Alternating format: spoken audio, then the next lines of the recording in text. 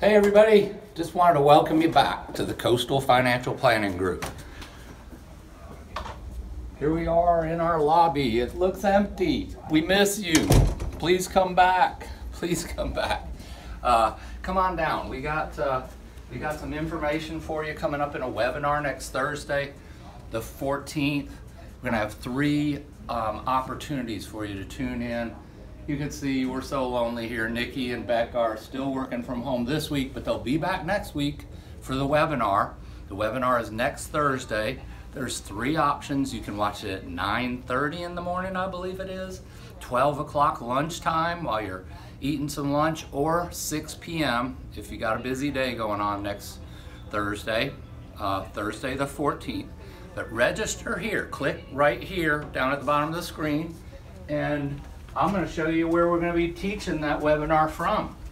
We're going to be in this good old conference room that y'all remember.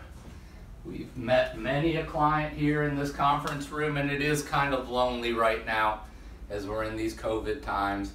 But I'll be teaching right up here on the big screen, and you'll be able to call in with questions.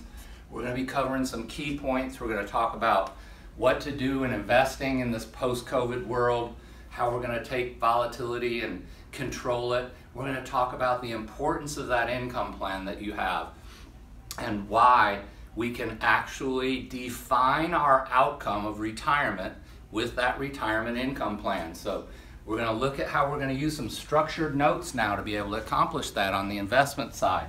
It's going to be exciting. We got great opportunity here as the new year comes in with COVID, post-COVID. And we also have the Hulseys. Yes. We have the Hulseys here, so they're here ready for doing your tax returns if you need help. So, hey, register today.